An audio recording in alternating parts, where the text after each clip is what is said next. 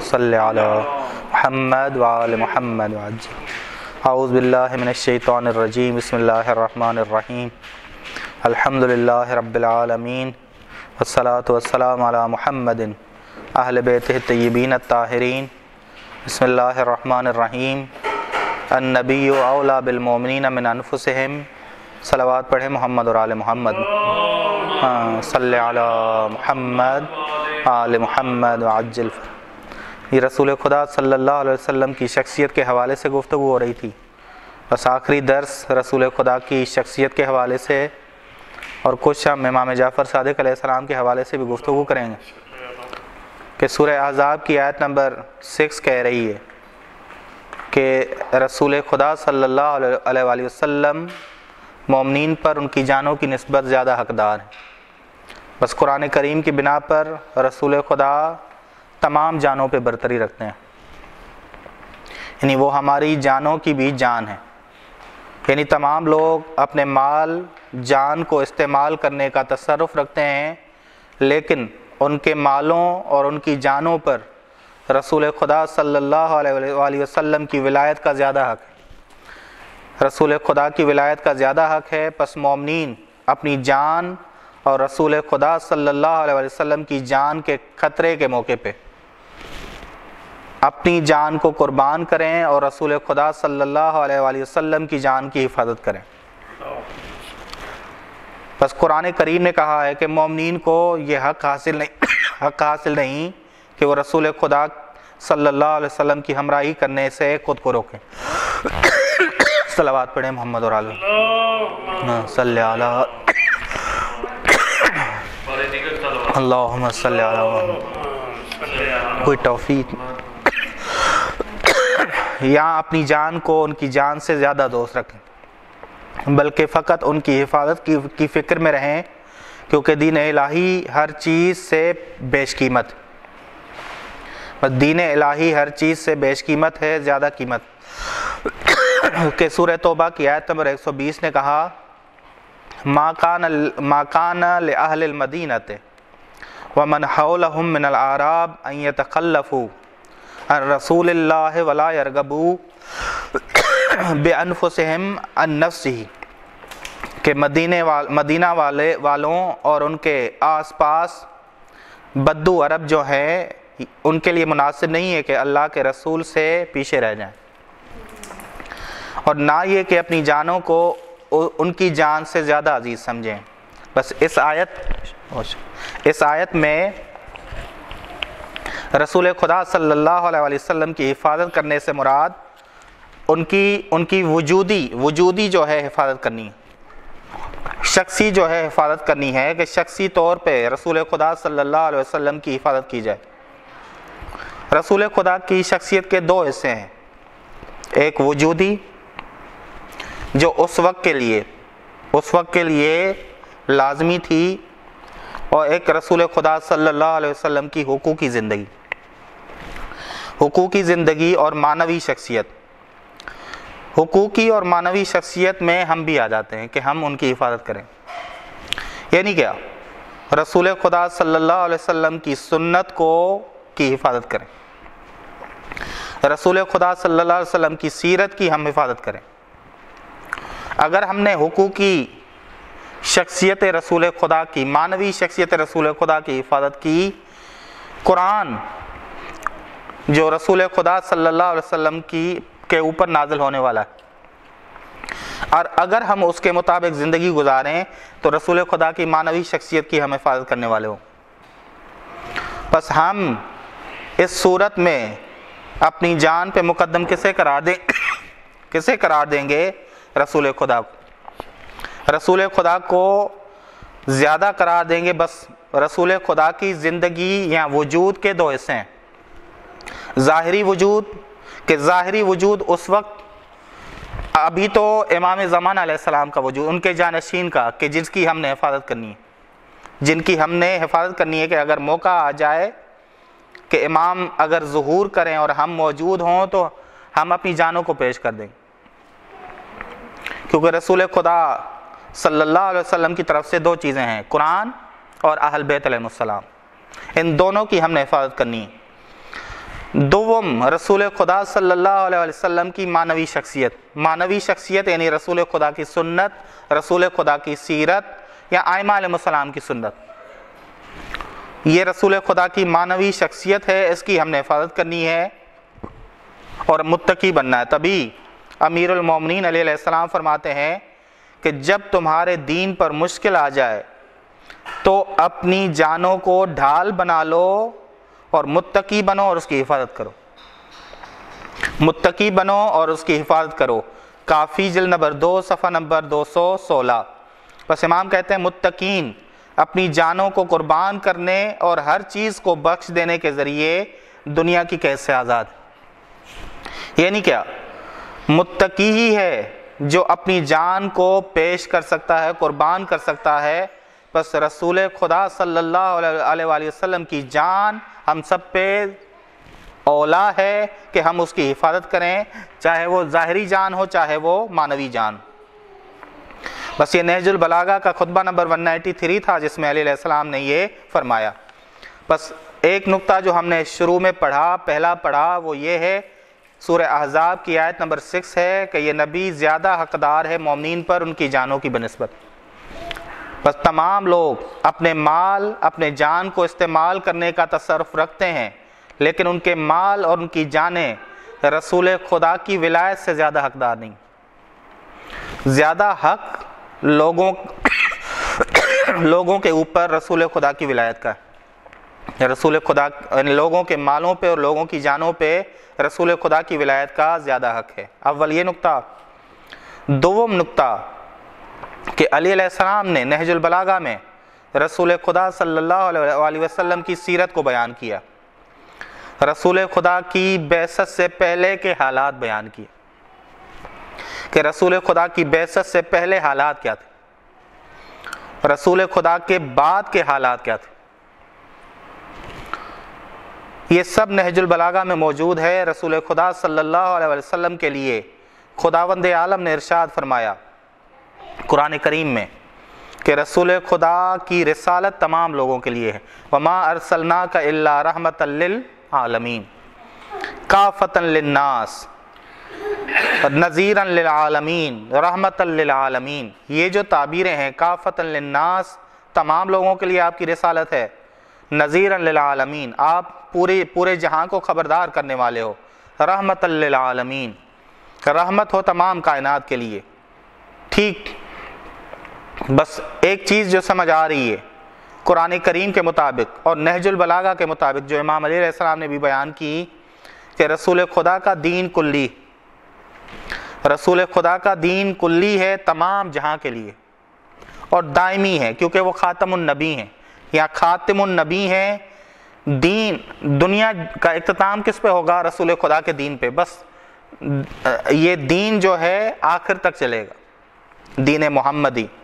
بس امام علی علیہ السلام فرماتے ہیں، جو ناطق قرآن ہیں، کہ نہج البلاغہ کے مختلف خطبوں میں بیان کرتے ہیں، امام کہ بیست رسول خدا صلی اللہ علیہ وسلم سے پہلے کے حالات پورے جہاں کے اور عرب کے۔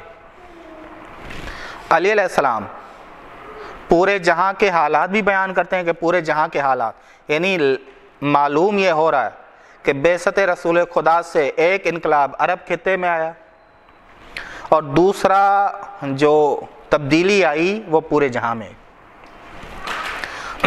تبھی رسول خدا صلی اللہ علیہ وسلم کے اس بیست سے پہلے والے حالات کے لیے علی علیہ السلام فرماتے ہیں، بیست رسول خدا سے پہلے کے حالات، پوری دنیا کے۔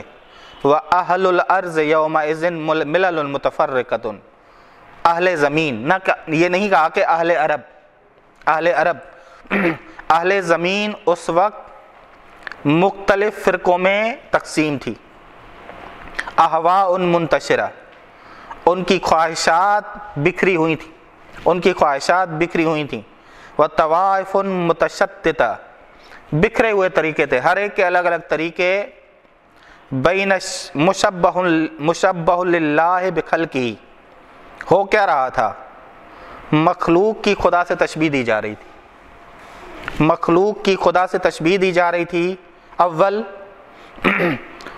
کہ لوگوں کو مخلوق خدا کو خدا کہا جا رہا تھا کہ عیسیٰ معاذ اللہ خدا کا بیٹا ہے، عزیر خدا کا بیٹا ہے، او ملحدن فی اسم ہی یہاں اس وقت پوری دنیا کے حالات یہ تھے، پورے جہاں کے حالات یہ تھے کہ خدا کے نام میں تصرف کیا جا رہا تھا، لوگوں کو خدا کے نام دیے جا رہے تھے۔ یعنی وہ جو خدا کی صفات ہیں، یہ نہیں کہا جا رہا تھا کہ یہ مظہر ہے، بلکہ کہا جا رہا تھا کہ رازق یہ رازق یہ شخص ہے رحیم یہ شخص ہے، اور جو ہے سری الحساب یہ شخص ہے۔ ٹھیک؟ بس ملحدن فی اسمی، خدا کے نام میں تصرف کیا جا رہا تھا۔ مشیر نلا گئی رہی غیر خدا کو شریک قرار دیا جا رہا تھا۔ اس دوران رسول خدا صلی اللہ علیہ وآلہ وسلم آئے۔ بیست رسول خدا ہوئی۔ فہداہم بھی من الزلال۔ خدا وند عالم نے بیست رسول خدا سے، وجود رسول خدا سے جہاں کو گمراہی سے بچا لی۔ بس یہ تاثیر رسول خدا صلی اللہ علیہ وآلہ وسلم صرف عرب میں نہیں، بلکہ نہج البلاغہ کے مطابق یا قرآن کریم کے مطابق کہ قرآن کریم نے نظیر للعالمین کہا رحمت للعالمین کہا کافت للناس کہا۔ اسی طرح علی علیہ السلام فرماتے ہیں کہ خداوند عالم نے بیست رسول خدا سے پورے جہاں کو گمراہی سے بچا لیا۔ پورے جہاں کو گمراہی سے بچا لیا۔ وہ ان بے مکان ہی من الجہال دو کام کیے رسول خدا صلی اللہ علیہ وسلم نے۔ ایک، ان کو عالم بنایا۔ ان کو عالم بنایا، یہ علمی لحاظ علمی لحاظ سے عالم بنایا اور عملی لحاظ سے عاقل اور عادل بنایا۔ یہ علی علیہ السلام نہج البلاغہ میں بھی فرماتے ہیں اور قرآن کریم نے بھی ارشاد فرمایا ہے کہ خداوند عالم نے بیست رسول خدا سے اس جہاں کو علمی میدان میں بھی آگے بڑھایا، جاہلوں کو عالم بنایا اور ایک اور گمراہوں کو ہدایت دی۔ علمی لحاظ سے بھی اور عملی ہدایت کا ملنا، گمراہی کا چلا جانا یعنی عملی لحاظ سے بھی ہدایت ملی اور علمی لحاظ سے بھی انہیں ہدایت ملی۔ بس علمی لحاظ سے جہالت دور ہوئی اور عملی لحاظ سے عاقل اور عادل بنے۔ بس نظام جاہلیت میں دو بیماریاں تھیں۔ جو سورہ کمر نے بیان کی ہیں۔ پہلی اللزن کہ وہ پیروکار تھے گمان کے۔ اور دوسرا، وما تحویل انفس، کہ عملی لحاظ سے خواہشات نفسانی کے پیروکار تھے۔ صلوات پڑھیں محمد محمد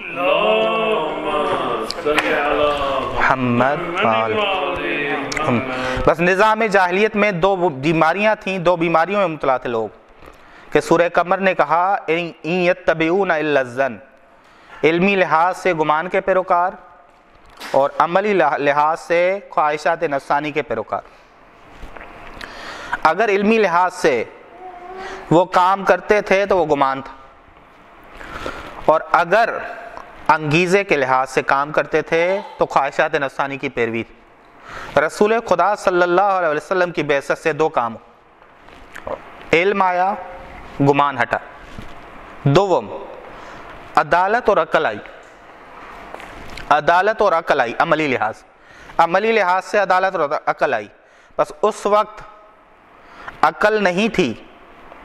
عقل ہوتی تو کیا ہوتا؟ خدا رحمان کی عبادت ہوتی، توحید ہوتی۔ کہ امام جعفر صادق علیہ السلام فرماتے ہیں، اللہم صلی اللہ محمد، العقل ما عبد بہ الرحمن۔ عقل وہ ہے کہ جس کے ذریعے خدا رحمان کی عبادت کی جائے۔ توحید تک پہنچا جائے اور جنت کو حاصل کیا جائے۔ بس یہ دونوں کام عملی لحاظ سے بھی پیچھے تھے وہ لوگ، اور علمی لحاظ سے بھی دور دور افتادہ لوگ تھے۔ بس یہ برباد معاشرہ تھا جہاں جہالت تھی، خواہشات نفسانی کی پیروی تھی۔ تبھی رسول خدا صلی اللہ علیہ وآلہ وسلم نے آ کر کیا کہا؟ سب سے پہلا کام کیا کرنا تھا علمی۔ رسول خدا صلی اللہ علیہ وآلہ وسلم نے یہ کہا طلب العلم فریضت علی کل مسلم یہ کیوں نہیں کہا رسول خدا صلی اللہ علیہ وآلہ وسلم نے طلب العلم فرض علی کل مسلم وہ مسلمتن؟ یہ نہیں کہا۔ کیا کہا؟ طلب العلم فریضت علی کل مسلم۔ فریضہ اور فرض فرض میں کیا فرق ہے؟ فریضہ میں جو تا ہے، تا تانیس نہیں، تا مبالغہ ہے۔ کہ علم واجب نہیں، واجب تر ہے۔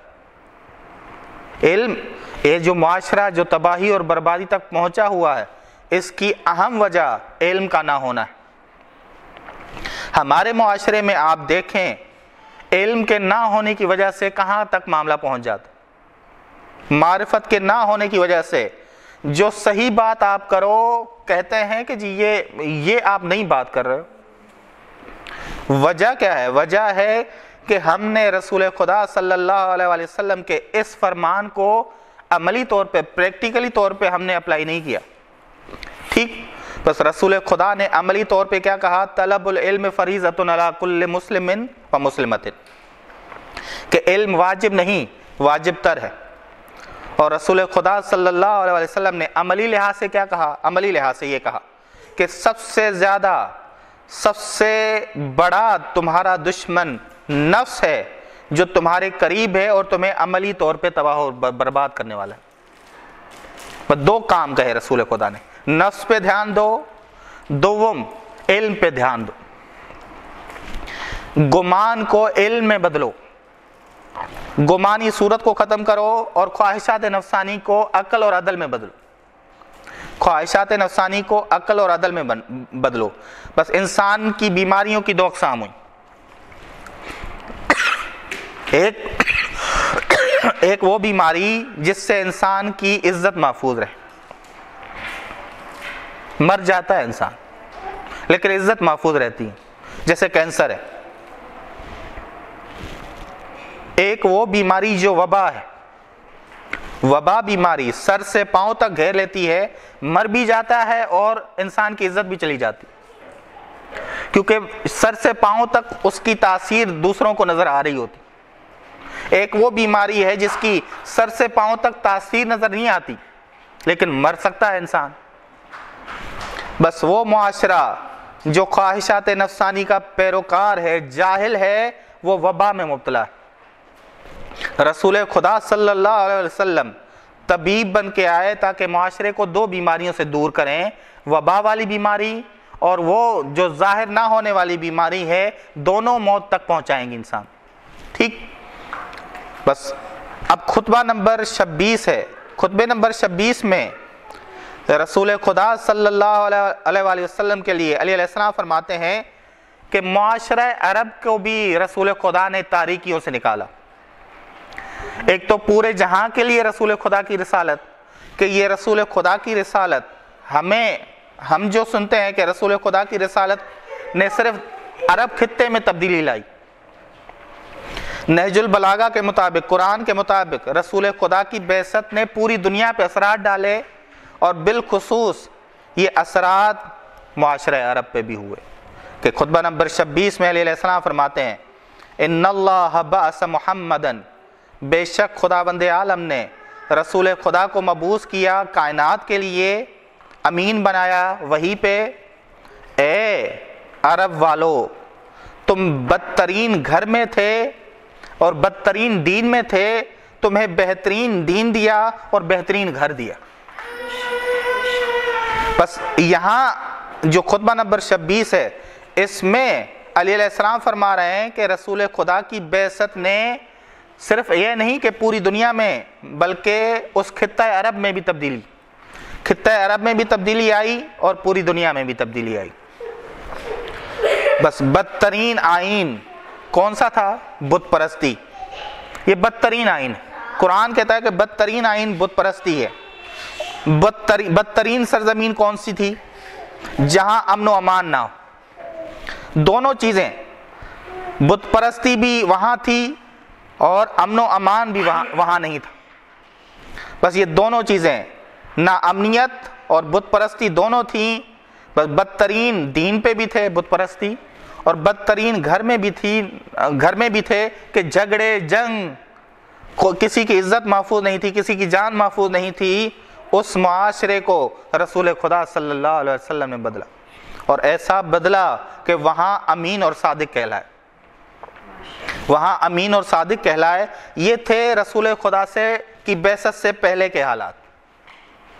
اب جی رسول خدا کی رحلت کے بعد کے حالات کیا تھے؟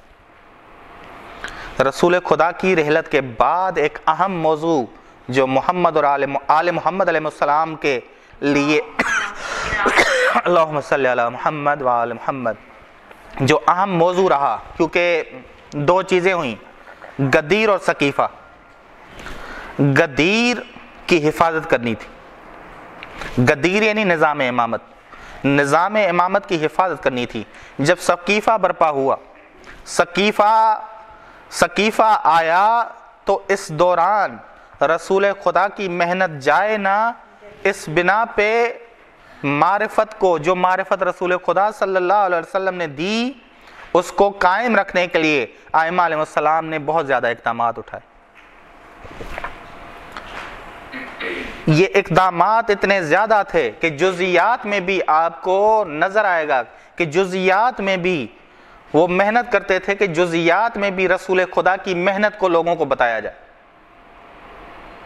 وہ جو رسول خدا نے محنت کی، رسول خدا صلی اللہ صلی اللہ علیہ وسلم کی معرفت غدیر کے پیغام کو زندہ کرنا، توحید کو زندہ کرنا، وہ توحید جو رسول خدا صلی اللہ علیہ وسلم نے اپنے جانشینوں تک پہنچائی۔ ذرا غور کریں کہ ثقیفہ اور غدیر میں فرق کے لیے، جدائی ڈالنے کے لیے آئمہ علیہ السلام نے کام کیا کیا؟ میں ایک مثال لیتا ہوں، دعائے معرفت۔ یہ جو امام نے، امام جعفر صادق علیہ السلام نے زرارہ کو تعلیم دی کہ غیبت کے زمانے میں تم یہ دعا پڑھا کرو، یہ دعا برہانی۔ ایک دعا ہے جو ہم بیماریوں کی شفا کے لیے کرتے ہیں۔ اسے دعائے عام کہا جاتا ہے، عام دعا۔ ایک خاص دعا ہے جیسے برہانی دعا دعا کہا جاتا ہے، یہ برہانی دعا۔ تاکہ رسول خدا کی محنت ضائع نہ ہو۔ مقصد مقصد لوگوں تک پہنچے۔ اللہم عرفنی نفسک۔ اے خدا، مجھے اپنی معرفت دے۔ فَإِنَّكَ إِلَّمْ تُعَرِّفْنِي نَفْسَكَ اگر تو نے اپنی معرفت نہیں دی، لم عارف نبیک۔ میں تیرے نبی کو نہیں پہچانوں۔ اے خداوند عالم اپنے نبی کی مجھے معرفت دے، اگر تو نے اپنے نبی کی معرفت نہیں دی، تو تیری حجت تک میں نہیں پہنچ پاؤں گا۔ اے خدا، اپنی حجت کی معرفت دے، اگر حجت کی معرفت نہیں دی، تو دین سے گمراہ ہو جاؤں۔ یہ پوری رسول خدا کی محنت تھی۔ یہ وہی گدیر کا پیغام تھا۔ گدیر کا پیغام کہاں سے شروع ہوا؟ توحید سے، پھر رسالت سے، پھر امامت یہاں سے شروع ہوا۔ یہی پیغام کہ رسول خدا کی رحلت کے بعد یہی پیغام زندہ رہے تمام ائمہ نے۔ ہر ہر شعبے میں ایسا ہی کام کیا۔ یہاں تک کہ جزیات میں میں نے جزیات کی مثال دی۔ یہ دعا تعلیم دی جا رہی ہے تاکہ رسول خدا کا دین محفوظ رہے۔ رسول خدا صلی اللہ علیہ وسلم کی محنت محفوظ رہے۔ بس کیا کیا کہہ رہے ہیں امام؟ زرارہ سے۔ اے زرارہ اگر تم موحد ہونا چاہتے ہو، اگر تم رسول خدا کے نقش قدم پہ چلنا چاہتے ہو، اگر تم رسول خدا کے مانوی وجود کو محسوس کرنا چاہتے ہو، تو کیا کرو؟ توحید کی معرفت، رسول خدا کی معرفت اور جانشین رسول خدا کی معرفت ضرور حاصل کرو۔ وگرنہ دین سے گمراہ ہو جاؤ۔ وگرنہ دین سے گمراہ ہو جاؤ۔ جس طرح رسول خدا صلی اللہ علیہ وسلم موجود تھے ابتدا جب کی، وہی تبلیغ کی جو ابتدا کی، وہ جناب عباس سے کی۔ کہ جناب عباس جاہلیت کے زمانے میں سود کھاتے تھے۔ سب سے پہلے رسول خدا نے اپنے چچا کو منع کیا۔ سود کھانے سے منع کر دیا۔ اسی طرح بعد والے ائمہ علیہ السلام نے، جانشین رسول خدا صلی اللہ علیہ وسلم نے سب سے پہلے دین کو کی حفاظت کے لیے اپنوں میں اپنوں تک پہنچایا۔ پہلے اپنوں کو تبلیغ کی، اپنے اپنوں کو تبلیغ کی کہ یہ ہے دین رسول خدا صلی اللہ علیہ وسلم کی شروعات کس سے کرتے ہیں، اپنوں سے کرتے ہیں۔ ٹھیک۔ بس رسول خدا کے بعد علی علیہ السلام نے فرمایا، اگر میں غدیر کی بات کروں تو یہ لوگ کہتے ہیں کہ علی حکومت کا لالچی۔ علی علیہ السلام حکومت کا لالچی ہے۔ اگر کوئی میں بات نہ کروں، کہتے ہیں علی موت سے ڈر گیا۔ علی موت سے ڈر گیا ہے۔ بس یہ حالات تھے اس اس وقت۔ بس دو حالات، ایک بیست سے پہلے کے حالات، ایک رحلت رسول خدا کے بعد کے حالات۔ تقریباً مساوی ہونے جا رہے تھے۔ اس میں آئمہ علیہ السلام نے اپنا کردار ادا کیا۔ بیست سے پہلے کے حالات میں رسول خدا اٹھے، پورے جہاں کو اور معاشرہ عرب کو چینج کیا اور رحلت کے بعد آئمہ علیہ السلام اٹھے اور آئمہ علیہ السلام نے پوری دنیا اور کس کو روشن کیا؟ پوری دنیا اور اس خطے کو روشن کیا جہاں رہتے تھے، چاہے وہ خراسان ہو، چاہے وہ سامرہ ہو، چاہے وہ بغداد ہو، بس ان خطوں کو بھی روشن کرتے گئے آئمہ علیہ السلام۔ یہ موجزانہ یہ صحیح جانشینی کا کردار ہے، یہ وہی کردار ہے، وہی سیرت ہے جو رسول خدا صلی اللہ علیہ وآلہ وسلم کی تھی۔ ٹھیک؟ اب آتے ہیں امام جعفر صادق علیہ السلام کی شخصیت کے حوالے سے کہ معاویہ ابن وحب فرماتے ہیں، صحابی ہیں امام کے، فرماتے ہیں کہ میں امام جعفر صادق علیہ السلام کے ہمراہ تھا۔ ایک لمبے سفر پہ جا رہے تھے، امام سواری پہ سوار تھے۔ راستے میں بار بار سواری سے اترتے اور طولانی سجدہ انجام دیتے، طولانی سجدہ کرتے۔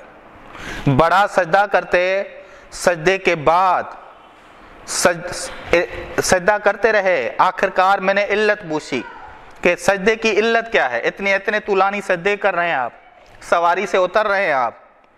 امام علیہ السلام نے فرمایا کہ خدا کی نعمتوں کو دیکھتا جا رہا ہوں۔ خدا کی نعمتوں کو یاد کرتا جا رہا ہوں اور سجدہ شکر بھی نہ کروں۔